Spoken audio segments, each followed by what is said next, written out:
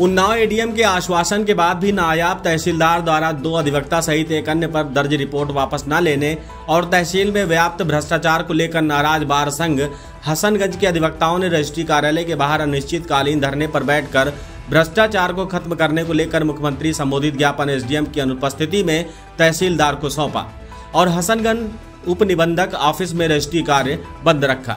बताते चले 18 मार्च को नायब तहसीलदार पूर्णिमा तिवारी की तहरीर पर तहसील अधिवक्ता सुधीर सिंह निवासी रसूलपुर बकिया अखिलेश यादव व एक अज्ञात युवक पर सरकारी कार्य में बाधा, आचार संहिता का उल्लंघन सहित मारपीट और जान से मारने की धमकी की धाराओं में रिपोर्ट दर्ज हुई थी। अधिवक्ता की तरफ़ से रिपोर्ट न दर्ज होने पर अधिवक्ताओं ने अनिश्चितकालीन तहसील से कार्य बहिष्कार कर दिया था।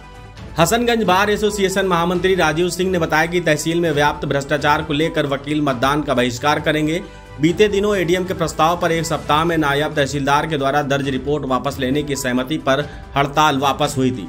लेकिन इतने दिन बीत जाने के बाद भी दर्ज रिपोर्ट वापस नहीं हुई, जिससे नाराज़ संघ अधिवक्ताओं ने रजिस्ट्री कार्यालय के बाहर अनिश्चितकालीन धरने पर बैठकर दर्ज रिपोर्ट वापस लेने की मांग की है। जब तक रिपोर्ट वापस नहीं होगी, तब तक धरना अनवरत चलता रहेगा।